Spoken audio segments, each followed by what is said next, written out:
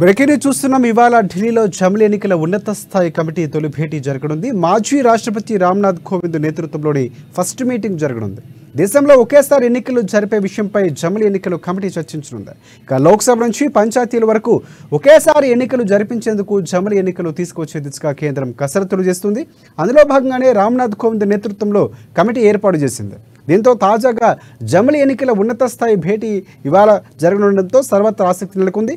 లోక్సభ రాష్ట్రాల అసెంబ్లీలకు మున్సిపాలిటీలు పంచాయతీలకు ఒకేసారి ఎన్నికలు జరిపే విషయంపై చర్చించనున్నారు.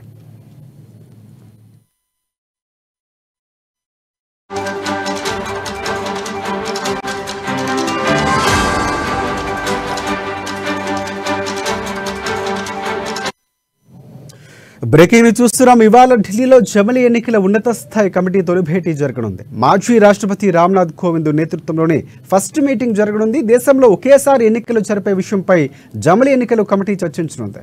లోక్సభ నుంచి పంచాయతీల వరకు ఒకేసారి ఎన్నికలు జరిపించేందుకు జమలి ఎన్నికలు తీసుకొచ్చే దిశగా కేంద్రం కసరత్తులు చేస్తుంది. ఇక అందులో భాగంగానే రామ్నాథ్ కోవింద్ నేతృత్వంలో కమిటీ ఏర్పాటు చేసింది. దీంతో తాజాగా జమలి ఎన్నికల ఉన్నత స్థాయి భేటీ ఇవాళ జరగనుండడంతో సర్వత్రా ఆసక్తి నెలకొంది.